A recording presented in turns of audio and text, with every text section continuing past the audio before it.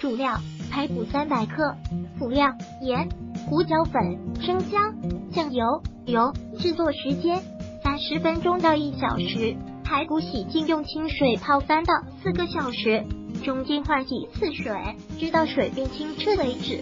泡好的排骨控干水，加盐、胡椒粉、生姜、酱油，放冰箱腌制两个小时。锅里油烧热，下排骨，开时间，煎五分钟后放酱油，继续煎，一直保持中小火，二十分钟即可。烹饪技巧：煎排骨一开始不要翻得太勤。等下面有点焦了再翻。如果喜欢本视频，请分享并订阅本频道。